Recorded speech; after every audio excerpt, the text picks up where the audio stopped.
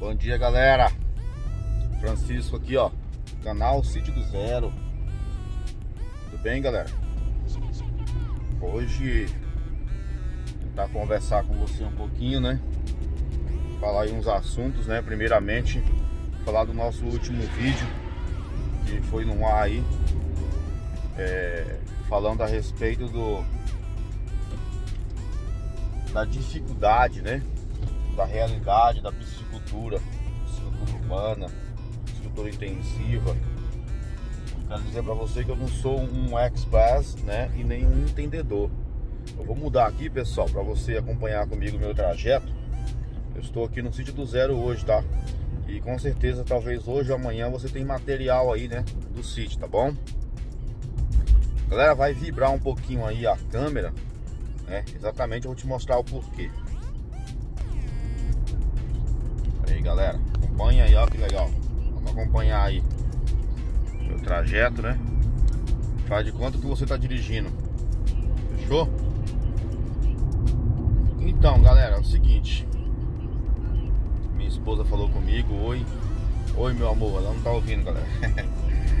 é, eu não sou um express no assunto, então peço perdão aí de cara para muitas pessoas que se sentiram talvez até mal, né? Com as minhas colocações. Eu quero recolocar alguns pontos. Primeiro, pessoal, um dos pontos que eu quero recolocar é o seguinte: eu não desanimei. Teve pessoas que falaram assim, ó, força, Francisco. Muito obrigado, muito obrigado pela preocupação, pela consideração. Mas eu quero dizer para você, meu amigo, que eu não desanimei, tá? Outros falaram não desanime. Eu não desanimei. É, eu estou passando para você a minha experiência tá? Eu passei para você a minha experiência, o sofrimento que eu tive. Eu agradeço a consideração de verdade, tá? Por lutar, por, por, por torcer pela minha luta, tá bom? Você que me acompanha e deseja que essa luta ela tenha um final feliz, ou seja, ela nunca tenha final, né? Uma luta não pode ter final, a luta do nosso dia a dia, mas que ela tenha sempre resultados bons. Pessoal, resultados bons, o que, que seria isso? Que eu vou colocar hoje para você é o seguinte: esse tema vai bater em cima de é, que tipo de lucro você espera da piscicultura, o que você quer. Então, eu vou focar a partir de então nos nossos conteúdos, nos nossos vídeos, vai ser focado, galera, é, em uma piscicultura urbana, tá? Não vai ser focado na piscicultura intensiva. Lembrando, ah, Francisco, então eu vou sair fora porque eu quero piscicultura intensiva. Então eu vou te falar já. Se você quiser sair fora, amigão, do meu canal, porque não tem é, relevância para você, é, você tem toda a autonomia de sair e de entrar. O nosso canal ele é um canal público, tá? Tudo que tá aqui não tem nada de conteúdo escondido, tá? Para quem é, é membro, isso, aquilo, outro, tá? Eu nem sei o que eu vou fazer com esse projeto de membro, né? Porque o, o YouTube aqui, ele, ele tem esse projeto de membro, galera. Só que eu não, não sei o que eu vou fazer. Então, no momento, todos os nossos conteúdos são livres, públicos, tá? A única coisa que eu faço é tirar um vídeo do ar por algum problema.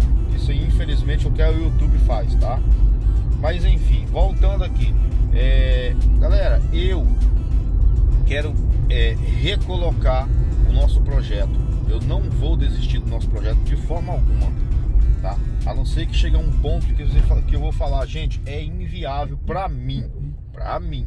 Então eu coloco para você tudo, tudo que eu falei no vídeo anterior é, se refere, galera, é, a uma situação particular minha.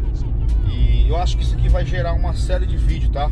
Então essa série de vídeo, pessoal, eu nem sei o tema que eu vou estar tá usando, tipo a série de vídeo do resumão, esse tipo de coisa, né? Aí tem um rapaz aqui, ó, fazendo uma caminhada, né? Olha que bacana. É, é assim, amigo. Se você acha que eu vou desanimar, que eu vou desistir, não. Não ache isso agora porque eu não vou fazer isso. Então vamos lá. O que está rolando, pessoal? Eu vou mudar o meu projeto para a piscicultura urbana e eu não vou focar na piscicultura intensiva. Quem sabe no futuro, com a minha aprendizagem de futuro, é, piscicultura urbana, eu venha trabalhar com a piscicultura intensiva. E essa piscicultura intensiva eu já vou estar muito maduro na, no conhecimento. pessoal, ela, ela, eu não vou focar nela para poder é, ganhar horrores de dinheiro, mas eu vou focar nela para manter uma família. Boa ou não é, galera? Boa demais. O que, que é isso? Vocês, como assim manter uma família? Galera, o tio Messias mora lá no sítio, tá? E ele, o tio Messias, é, eu ajudo ele, né, financeiramente. Eu não tô aqui expondo nada, tá? Mas para você entender a lógica do conteúdo, tá bom? Eu ajudo ele financeiramente. Inclusive hoje é o dia de eu estar tá, tá dando um, um, uma ajuda financeira para ele. Por quê? Porque ele não tem uma fonte dentro do sítio quando eu adquiri esse sítio, a primeira coisa, o primeiro projeto da minha cabeça foi: eu tenho que criar alguma coisa para ter uma fonte no sítio, para o sítio por si só se pagar, tá? Amanhã, quando eu falo amanhã, pode ser daqui 10 anos, 5 anos, 3 anos, eu falar assim: poxa, o que eu já produzi no sítio já pagou o meu sítio, da agora em diante é só lucro. Mas não são lucros abundantes, tá, pessoal? São lucros pro dia a dia. Então o que, que, vai acontecer? Na nossa piscicultura eu não vou jogar no lixo de forma alguma. Eu vou é, reaproveitar ela. Como que eu vou fazer? Eu só vou diminuir é, a quantidade de produção de peixe de cada tanque. A gente trabalha hoje com é, 40 é, metro cúbico, que é o recomendado. Aí eu vou diminuir isso, pessoal. Eu vou dividir no meio. Eu vou trabalhar com 20, 20 kg metro cúbico. Ou seja, com isso, galera, eu não vou ser dependente da energia elétrica. Olha onde eu vou chegar. Eu quero que vocês entendam meu, meu nível de projeto. É, o projeto que eu tenho, que eu estava tentando, que eu parei no momento, pausei, é depender da energia elétrica 100%. E galera, no momento para mim é inviável. Uma das coisas é, eu não tenho uma mão de obra qualificada para cuidar disso para mim e eu não tenho tempo certo? Se eu fizer isso, eu vou ter que abandonar a minha empresa. E se eu abandonar a minha empresa, eu vou falir, galera. Então, praticamente nem vai ter mais vídeo no canal. Vou ter, vou ter fechar o canal, tá bom? Então eu estou até meio sumido justamente por estou dando sangue na minha empresa, tá, pessoal? Porque a gente teve muito problema interno e eu, eu estou resolvendo o máximo que eu puder. Voltando ao foco aqui, galera, o que que acontece? É, hoje, em cada tanque grande meu, tem 2 mil peixes. Eu vou trabalhar só com mil peixes por quê, Francisco? Porque é o seguinte, eu não preciso ligar soprador facilmente. Se eu tiver uma água de boa qualidade, uma troca de água boa, eu não preciso nem ligar soprador, nunca, nunca, tá? É só isso já é o bastante. Então vocês são piscicultores que conhecem muito mais do que eu, e se você chegou até nesse ponto do vídeo aqui, ó, você vai falar que eu estou certo, tá? Eu acredito que sim. Ou você vai falar, Francisco, você está certo, mas porém, tal, tal, e você vai recolocar algo a mais, né? Que eu até agradeço se você fizer isso, tá bom? Muito top. Eu agradeço vocês que estão aí contribuindo com as ajudas do canal, com as ajudas do projeto, porque eu, eu estou sempre rea, readequando coisas baseado no que é, eu escuto de você. Eu agradeço muito por esse, é, é, essa, esse tipo de, de ajuda, tá? Galera, tô chegando aqui na cidade de Arthur Nogueira, tá bom? E vamos continuando aqui. O que, o que que tá acontecendo, pessoal? A gente tá sabendo aí que vai vir uma onda do apagão, né? Eu não sei se realmente isso vai acontecer, mas a gente tem que colocar na cabeça que vai acontecer. E se acontecer, galera, eu tenho duas, três horas para poder morrer meus peixes. Então é tudo isso faz parte de uma ideia futura. Então assim, ao invés de eu trabalhar com o meu é, super densidade, eu trabalho com a densidade suave, né? Porque se der realmente os apagão da vida, que vai questão da energia, custo, sistema que eu não venho ao, ao caso nesse vídeo, quem sabe o outro, o que, que vai rolar, galera? É, se der apagão, os meus peixes não vão sofrer, galera. Não vai sofrer, entende? Hoje, hoje, se eu desligar a minha bomba de água não tô nem falando do soprador. Os peixes sofrem um pouquinho, tá? Não é muito não, mas sofrem um pouquinho. Mas se eu diminuir a densidade, não vai sofrer nada, né? Posso deixar um tempo bom e meus peixes não sofrerão nada. Então a minha ideia atual é baseada em cima disso, tá, pessoal? Eu quero fazer um negócio que seja familiar de verdade. O que é familiar, Francisco? Que seja viável para todo mundo Então a minha ideia desse canal é mostrar principalmente a realidade, não enfatizar é, ilusão. Ah, isso aqui é só fazer que dá certo. Não, não, galera. A minha ideia aqui nesse canal sempre foi essa, mostrar a realidade, mostrar minha, meus prejuízos, tá? Acho que tem gente aí que talvez até gosta de ver os meus prejuízos, né? Ver eu sofrendo, outros, outros não, né? Fica triste junto comigo, agradeço por isso. Mas enfim, galera, eu vou fazer esse projeto e quero sim realmente as dicas, ideias que vocês estão dando que continue, tá? Vamos continuar a ideia, galera, baseado nessa readequação de projeto, tá bom? Isso para mim vai ser de grande valor. Aí, galera, é assim, né? Se se eu fizer um projeto desse né, e provar para você que você pode ter é, uma sustentabilidade financeira familiar, isso a gente pode que colocar o nome de piscicultura urbana, tá? Que se trata de que você possa ter um trabalho desse dentro da sua casa, tanto na cidade, né? Quanto no seu sítio, sítiozinho, né? A gente coloca a palavra, né? Não diminuindo, fala sítios, ah, meu sítiozinho, né? Tem gente que fica chateada, ah, tá diminuindo meu sítio. Não, sítiozinho, galera. Sítiozinho que quer dizer o seguinte, é um lugar pequeno, né? Um lugar aconchegante para família, né? Onde você pode plantar uma bananinha, né? Um milhozinho, né? Uma mandiocazinha, né? Uma macaxeirazinha, um inhamezinho. Então, num diminutivo assim que são poucas, né? Quantidades, né? A quantidade pequena, é tudo familiar, né? E também você possa vender, certo? possa vender aí nas épocas de cada uma é, plantação desses, desses alimentos, né? Você poder vender e tirar um sustento, né? Não para dizer que ah, eu vou viver 100% disso, mas se você tem um sítiozinho aí que, que produz essas coisinhas pequenas, cara, isso é muito legal, certo, pessoal? Isso é muito bacana, né? E você pegar essa produção e agru, a, a, agrupar, vamos dizer que você já tem isso hoje, se agrupar com uma piscicultura, cara, você tem noção, tem noção da ideia legal que você possa é, começar a ganhar um dinheiro até um pouco melhor, né? Eu tenho uma hortinha aqui no meu sítio e tal, porque a horta, pessoal, normalmente você ganha o ano inteiro, né? Você fazer sua produção intercalada, tem uma horta, né? Você tem sempre ali seus alface, rúculas e outras, é, é, apesar de que tem rúcula, que as rúculas não dá né, em qualquer época do ano. Mas enfim, é, você tem uma produção de peixe urbana. A mesma coisa, o peixe urbano, nessa produção, você pode ter ele o ano inteiro, galera. Qualquer dia que, a, que o seu cliente, né, quer comprar o peixe, você tem. Ô, oh, seu, seu tio Messias, eu quero. O Messias, eu quero 5 kg de tilápia. Ele vai lá no tanque, né? Tira as tilápias, pesa 5 kg, né? Tira foto né, das tilápias, que é bom sempre documentar, pesado, 5 kg, né? Tira a escama, tira os. É, faz a limpeza, né? Limpa ela, embala. E a pessoa vem buscar, a pessoa é, manda pra pessoa, entende?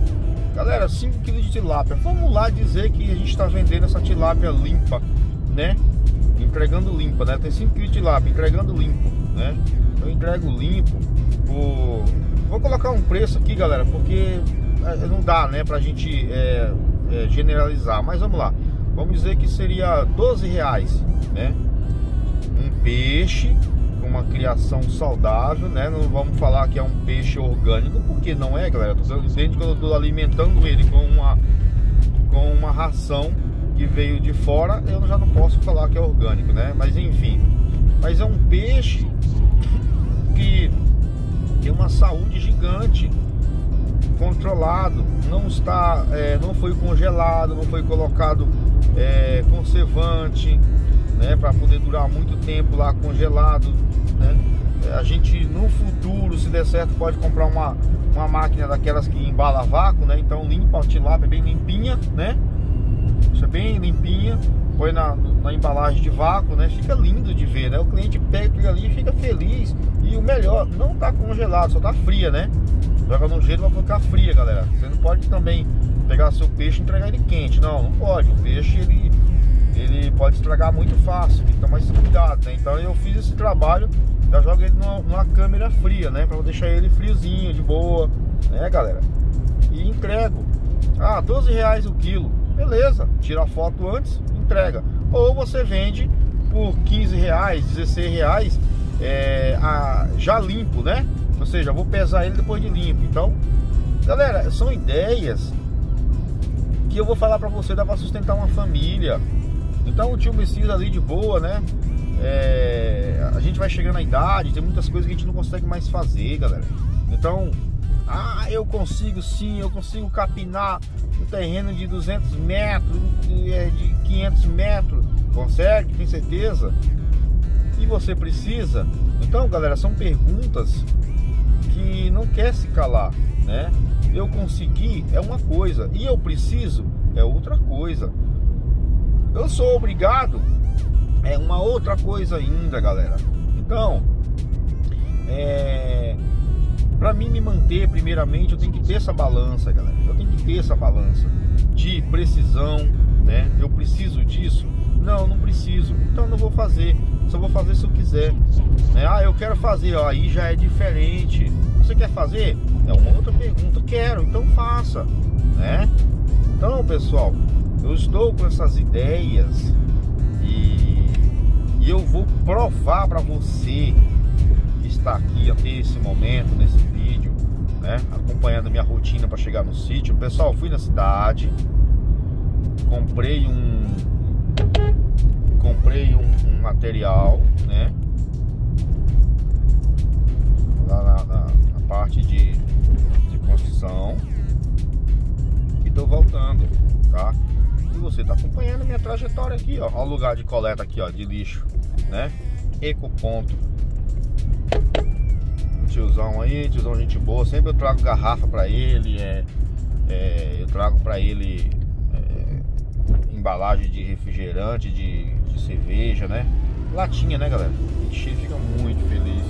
Porque ele faz reciclagem, ganha o dinheirinho dele, né? Ele trabalha ali, mas ele ganha né, o dinheirinho dele, né? Então, pessoal, você monta uma piscicultura urbana e vive. Não é para você fazer horrores. Ah, eu vou montar uma piscicultura e aí eu vou fazer um frigorífico, eu vou não sei o que, não sei o que. Aí, meu amigo, eu vou te falar, você tem certeza que você quer investir nisso? Isso daí, galera, é top demais.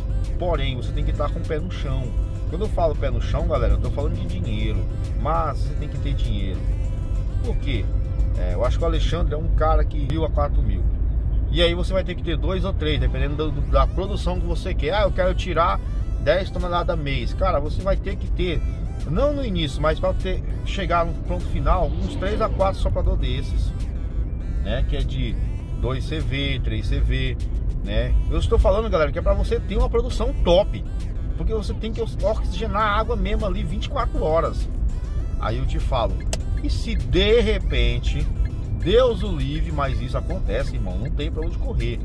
Falta energia por algum problema, alguém bate no poste da região lá e quebra o poste. Até a sua companhia de energia vir corrigir aquela situação, você já tem duas, três, quatro, cinco horas. Galera, numa produção dessa, eu te dou 20 minutos. 20 minutos. Você que é piscicultor profissional, me corrija se eu estiver errado. Você tem 20 minutos exatamente para os seus peixes começar a morrer. E eu vou mais longe, hein? Esses seus peixes, quando começam a morrer, não para, vai até o fim. Então, se resume nisso.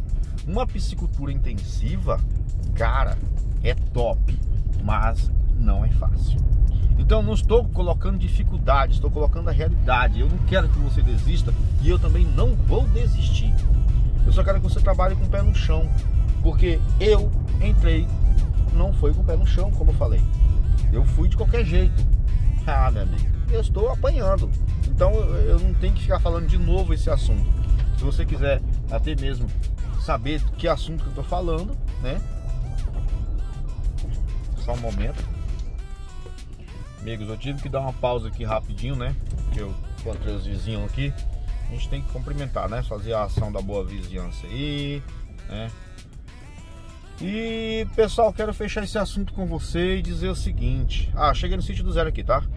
dizer para você, galera, é eu quero fazer uma coisa que não é para ficar rico, não é para ficar milionário. Eu quero ter um bem-estar. E esse bem-estar se trata, galera, de uma seguinte situação: ficar tranquilo, tá? Ficar tranquilo. O que, que é ficar tranquilo? É ficar de boa, galera. É ficar de boa, suave, né? Eu tenho minha produção de peixe. Ah, faltou energia. E daí? O que, que tem a ver com isso? Não tem a ver com nada. Faltou energia, meu amigo? Não tem problema não. não problema não. Eu não tenho é, frigobar, é, refrigeração, né?